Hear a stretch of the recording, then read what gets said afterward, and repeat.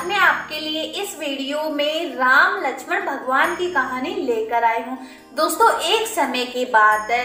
एक गाँव में एक जाट और जाटनी रहते थे। दोनों बहुत ही गरीब थे, लेकिन जाटनी थोड़ी चतुर थी। उसने एक दिन चार रोटियाँ बनाई और जाट से कहा, जाओ, नदी के किनारे ये चार रोटियाँ रख देना। वहाँ राम लक्ष्मण जी आते हैं। है ना? और रास्ते में जाते समय ये पंक्तियाँ दोहराना राम बड़े, लक्ष्मण छोटे, वो बैठे अम्बे की डाली, वो बैठे चंपे की डाली। मिश्री का दशरथ बनावे, माखन मिश्री भोग लगावे, दे परिक्रमा घर को आवे। आप ऐसा बोलोगे तो राम, लक्ष्मण, भगवान हमारी मदद ज़रूर करेंगे। अब जाट चार रोटियाँ लेकर रास्ते भर उन पंक्तियों को याद करते गया। लेकिन जैसे ही नदी के किनारे गया, वो पंक्तियाँ भूल गया और बोला, लक्ष्मण बड़े, राम छोटे, वो बैठे अम्बे की डाली, वो बैठे चंपे की डाली मिट्टी का दशरथ बनावे, माखन मिश्री भोग लगावे, दे परिक्रमा घर को आवे। यह पंक्तियाँ सुनकर राम भगवान लक्ष्मण जी से बोले कि लक्ष्मण, इसने तुम्हें बड़ा बताया है, इसलिए तुम ही इसे कुछ दे दो। तब लक्ष्मण को बहुत ज़्यादा गुस्सा आता है और वो कहता है कि ये मूर्खमती वाला व्यक्ति है। इसे इतना भी नहीं पता कि राम भगवान से बड़ा कोई इस दुनिया में हुआ है, लेकिन फिर भी राम जी कहते हैं कि नहीं लक्ष्मण, इसने तुम्हें बड़ा बताया है, इसलिए तुम ही इसे कुछ दे दो। तब लक्ष्मण जी थोथे बाँस में से कुछ मोहर असर पे निकाल कर उसे दे देते हैं। वह उन्हें लेकर जैसे ही घर आता है तो रास्ते में जंगल में चोर उन मोर असरपी को लूट कर ले जाते हैं। अब वह घर जाता है। घर जाकर जाटनी पूछती है कि कुछ मिला क्या? तब उसने कहा मिला था था। मोर असर भी मिली थी लेकिन उसे चोर लूट कर ले गए। तब जाटनी कहने लगी, कोई बात नहीं, कल फिर जाना, कल मैं फिर तुम्हें चार रोटियाँ बना कर दूँगी। दूसरे दिन वह जाट फिर गया और रास्ते पर पंक्तियाँ याद करता गया, लेकिन जैसे ही वहाँ गया, फिर वह वही बात बोलने लगा कि लक्ष्मण बड़े राम छोटे, वो बैठे अम्बे की डाली, वो बैठे चंपे की डाली, मिट्टी का दशरथ बनावे, माखन मिश्री भोग लगावे, देव परिक्रमा घर को आवे। अब यह पंक्तियाँ सुनी फिर लक्ष्मण जी को गुस्सा आया कि ये आदमी तो पागल हो गया है। कहीं राम से भी बड़ा इस दुनिया में कोई है क्या? तब राम कहते हैं कि नहीं लक्ष्मण, इसने आज भी तुम्हें ही बड़ा बताया है। आज भी तुम ही इसे कुछ दे दो। तब लक्ष्मण को बहुत किस्सा आ जाता है, लेकिन राम भैया के कहने पर वह उसे सोने की ईंटें दे देता है।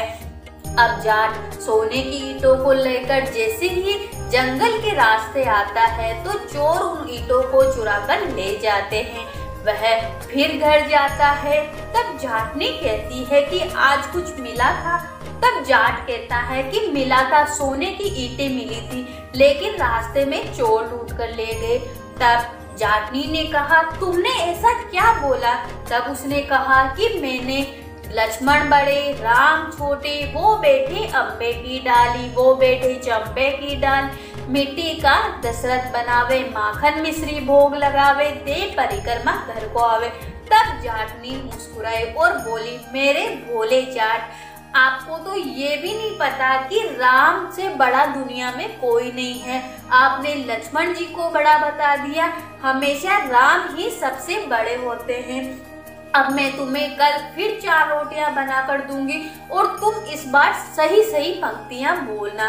अब जाटनी दूसरे दिन जाट को फिर चार रोटी बना के देती है और उसे अच्छी तरह याद करवा के भेजती है। और इस बार जाट सही सही के नदी के किनारे जाकर बोलता है कि, राम बड़े, लक्ष्मण छोटे, वो बेटे अम्बे की डाली, वो बेटे चंपे की डाली, मिट्टी का दशरथ बनावे, माखन मिश्री भोग लगावे, दे परिक्रमा घर को आवे। इस बार लक्ष्मण ने बोला कि इसकी बुद्धि सही हो गई है। राम भैया, आज इसने तू आपको बड़ा बताया है। आज ही आप इसे कुछ दे दो। तब राम जी कहते हैं कि मेरे पास क्या है? ये जोहड़ की मिट्टी है, मिट्टी की डली है। राम जी अपने हाथ में से वो जोहड़ की मिट्टी की डली लेकर उस जाट को दे देते हैं। अब जाट उस मिट्टी को, डली को लेकर रास्ते भर बड़बड़ाता हुआ आता है कि पागल बुढ़िया, उसको लखननी है। रोज मुझे, मैं लक्ष्मण जी को बड़ा बताता था तो रोज मुझे कभी मोहर, कभी सोने की ईटें मिलती थी। आज राम को बड़ा बताया है। तो देख, मुझे मिट्टी मिली है। अब रास्ते में चोर आए, लेकिन उन्होंने मिट्टी देखी तो वह बिना कुछ बोले ही चले गए। अब वह घर गया तो जाटनी ने कहा, आज कुछ मिला? तब जाट ने कहा, तेरी पागल बुद्धि के कारण देख, मिट्टी की डली मिली है। रोज तो सोना चांदी मिलता था, आज मिट्टी की डली मिली है। तब जाट ने मुस्कुराई और कही, रोज तो तुम कुछ भी नहीं लाते थे। कम से कम आज ये जोहर की मिट्टी लाए तो हो। इससे मैं चूल्हा नीप सकती हूँ, घर का आँगन नीप सकती हूँ। तुलसा माता जी के पास इसे रख दीजिए। दोनों जने उस मिट्टी को तुलसा माता जी के पास में रखकर सो जाते हैं। सुबह उठकर देखते हैं तो वहाँ हीरे मोती जगमगा रहे होते हैं।